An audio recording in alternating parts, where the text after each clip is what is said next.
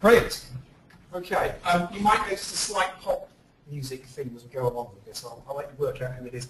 Um, I'm Adam Edwards. I am liaison manager for law, for science and technology. I support remote users. I do work-based learning. I do collaborative partners.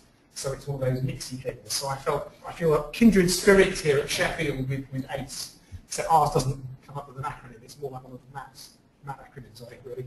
Um, I normally do this as a double act with Vanessa Hill, so um, an awful lot of what's in here is Vanessa's content as much as, as mine. So hello Vanessa, because she promised to watch, so she should be logged in by now.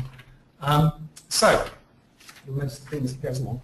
Um, I'm going to put this into the context of actually what Summon has been for us as a huge enabler alongside a number of other developments which have changed the approach we've taken to teaching um, which has been quite exciting. And actually what Summon has done, the biggest thing Summon has done, is to free time up for us to do other things. So in a way I'm going to talk less about Summon as, as, as an object and a thing, because we've had a lot of that from other people. And I thought, I'll do something slightly different. But about the sort of way in which we changed our approach to teaching, and apologies to people like Lilac who've seen some of the slides before, but Summon has enabled that change, which I think is a very good thing. Okay, so um, I've talked about who I am. I'm going to run through some of the issues that got us to that position of that conclusion, the ideas we then ran with to do things differently, the solutions we've used, and how Summon fits into that context. Um, and I brought some of the samples of the things that we use. Um, normally I get you to have a go at this, but it's not the right setting and there isn't enough time. But anybody wants to have a play with these at lunchtime, come and talk to me. So, um, all right, the SOS. You worked out the group yet? Yeah. Please don't sing along. No, um, it might, might entertain you. Um, so the problems that we faced, um, the not embedded is kind of the cliche thing we have, isn't it? You know, that you'd like to have your sessions embedded, but an awful lot of them aren't.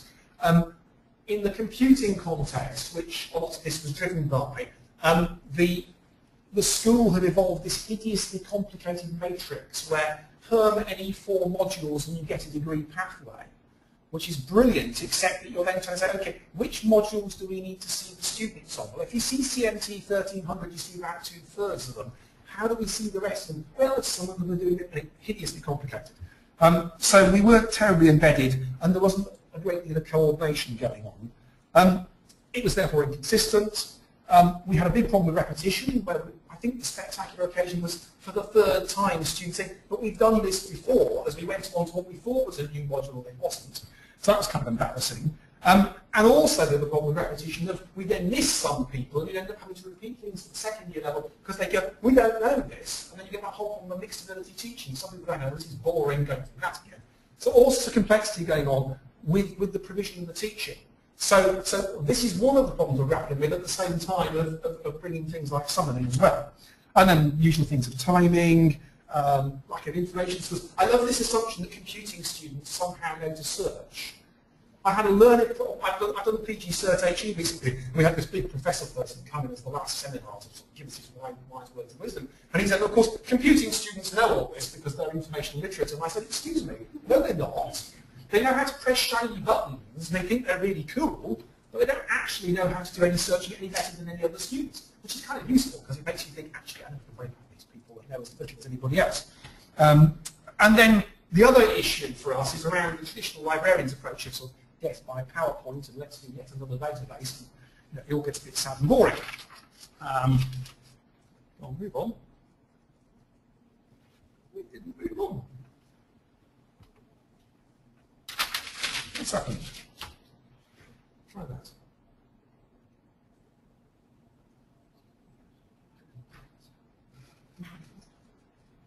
Right, try.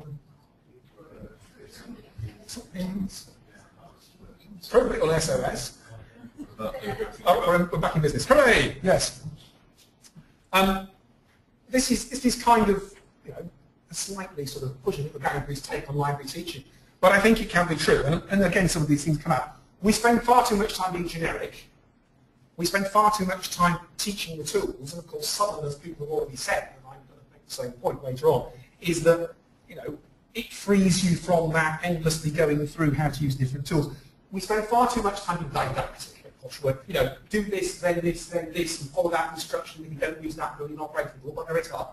you know, that, that sort of, you know, an uninspiring, a dull teaching. You know, come on, let's do it different. And I think part of that's driven by fear. Actually, I'm terrified that if I do something where the students might be able to give me a different answer than what I'm expecting, that actually that makes me really worried because they might ask me something I don't understand. As librarians, as teachers, we're teaching information skills. We're not teaching them the subject. And actually, I found it really liberating personally, that whole thing of actually saying to people, just you know, go away and find something out. And it comes up with something different and wacky that you're not expecting, and you run with it. And actually, that's okay. But also, because at the end of the day, you've made it clear that they're going to find stuff that you've not expected, you've kind of signalled that you may not have a, ready answer and a ready response for them. So don't be frightened in your response to that. Okay, so um, the Björn Again thing is, I know it isn't a song title, it's the, it's the rival room. anyway, it fits. Um, this, this, is, this is the bit Vanessa always does. Vanessa went to a very inspiring session run by Sharon Markless. You mentioned Sharon Markless and Vanessa intending to do this. She's probably doing it back at her desk right now. Um, we spend far too much time cramming stuff in. You've only got them for an hour, so we'll teach them everything we can. No. Quality, not quantity. Less is more. Don't try and turn the student into a mini librarian. They didn't sign up to be a librarian. They don't want to be a librarian. Just, you know, it's, it's, it's not about clothing. You know, they don't need to know about Boolean operators. It doesn't matter. Let go of it. Discussion is incredibly powerful. And actually, what our teaching is around is getting them to talk about it amongst themselves and talk to us about it. Because if you get people discussing, and the learner by doing, you get into that whole thing of activating their prior knowledge, bringing that to the table, and if you can align their prior knowledge, their prior experiences and the stuff you're teaching them, it's never constructive alignment and it's the sort of methodology we talk with PG Cert HE and yes, that's a success. Um, and it's about learning. It's not about I tell you how to do this, it's about let's work it out together. And of course games is a brilliant way of, of making that work. Now, again, Lilac, fantastic, 2011 I went one and I went into Susan Boyle's session. Susan Boyle at the University College Dublin. And um, she did a hands-on workshop on how to do games. And it was all those light bulb moments. You see, okay, why the hell, after 20 years in business, haven't I thought of this for? You know, but, uh, you know, you can repent of your sins and change. So, okay, we talk about games, but actually it's about constructing activities that are fun and are quick and are simple and easy, but actually are about provoking the activity and making the students the students think. I mean, so for example, I mean, you'll see these sets of cards. They're just sets of cards. They're just laminated bits of paper, you know, printed on a colour printer. Um, if you've got a library assistant who, who's displeased you greatly, give them a laminating job. Um, uh, I have to ask Andy very nicely, and it involves pints of beer if we need some more of these being done. Um, but it's not about creating a game that's a game in itself, it's about making the students talk about it.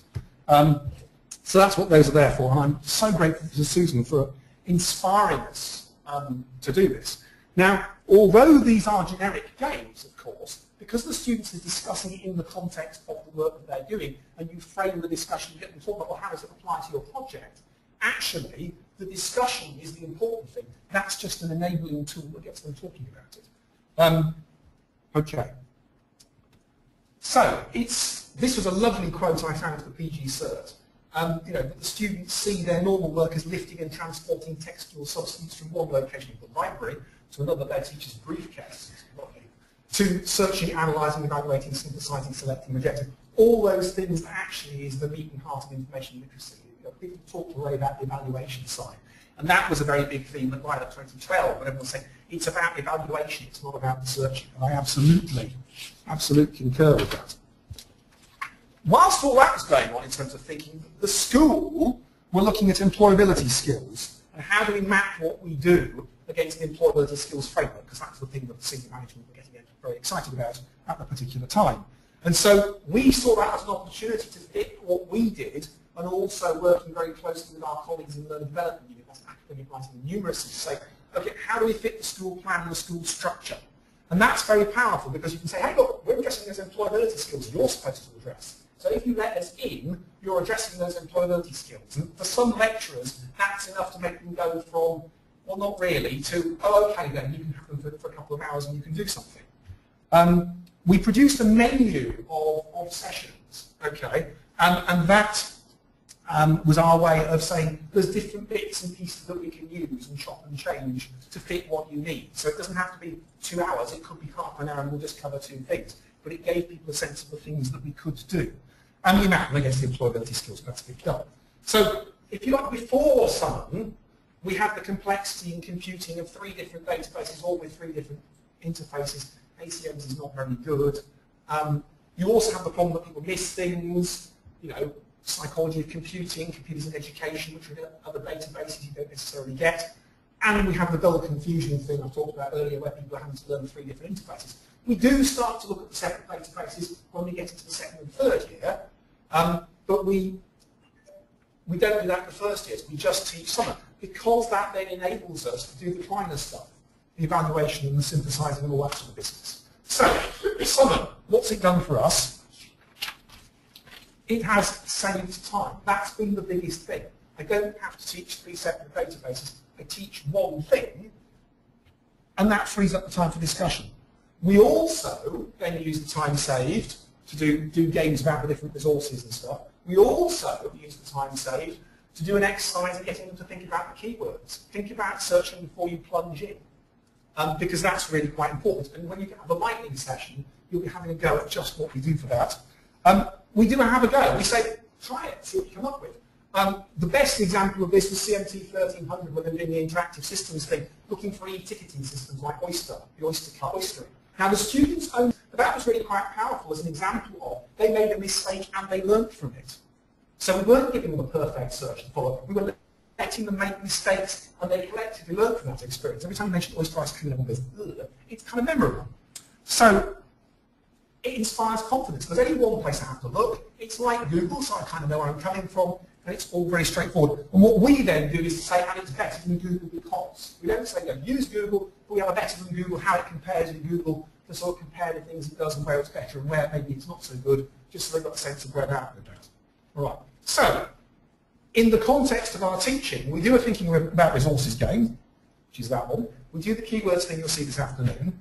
We do the searching using Summon, and we get them from a, a blank stream through to generating a reference even the most skeptical student loves the references because because I, I had the famous famous line, that is very sick man, because they're from London. You know, that is that is like the ultimate compliment.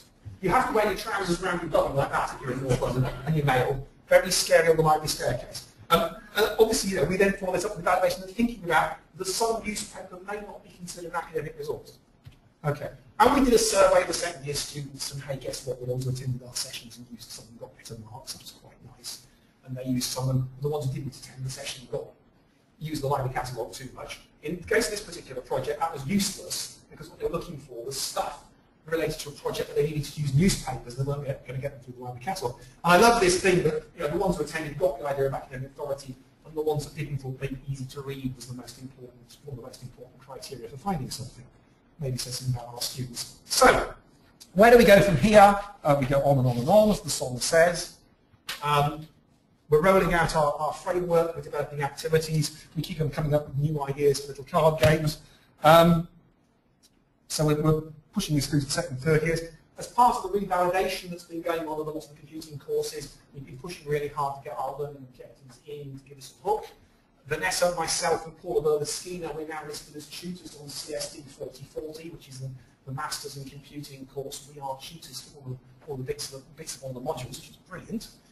The only frightening thing now is you've got four lessons to plan and lots of hours to fill, but hey, that's an exciting problem to have. So it's, it's kind of working with embeddedness.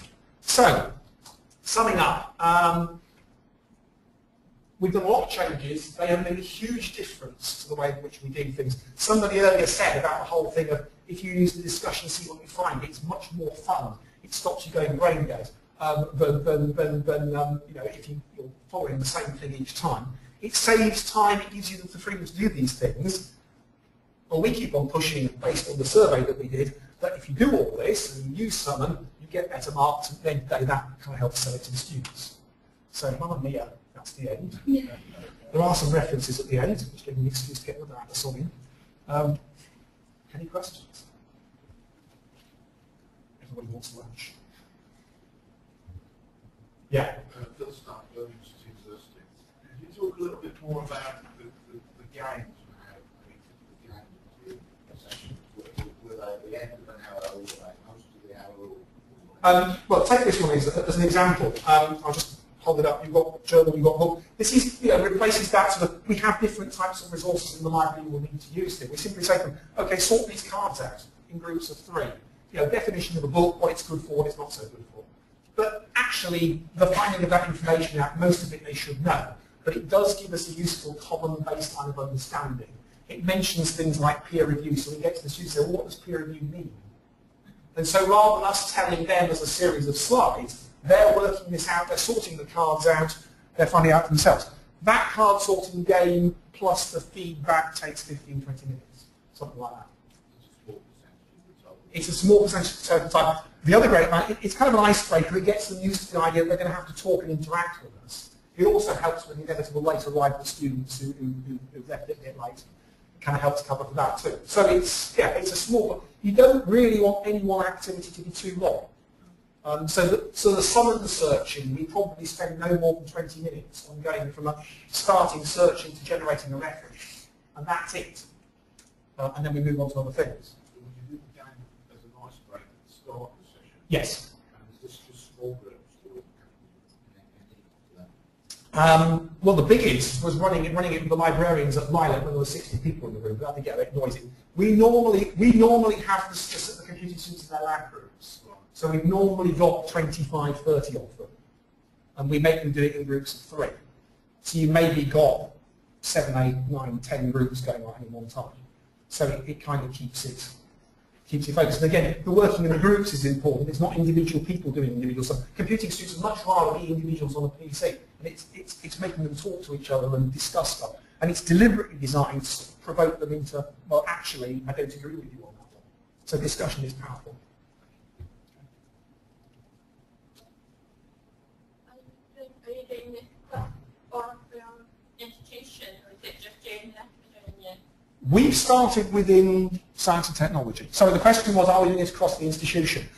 Others of our colleagues have taken these and have adapted them and used them in, in different areas. For example, um, this initial set here, um, one of our business librarian colleagues has added in business market research reports as another category them to search and has used it. And different people have used different, different things in different ways, depending on what fits them. So it's not a sort of one-size-fits-all change to it. It's we've developed our particular way of doing things. And we have been very lucky. I should say, we're lucky because ACM IEEE computer source sort of, most of what we need to teach is covered by Summon. The problem some of my colleagues have in other areas is, particularly those where we're dependent on the EBSCO-based resources, they're much less keen on Summon. So they're much less keen to use it. Um, and so they don't teach in the same way. But hopefully they'll be converted to the course one day.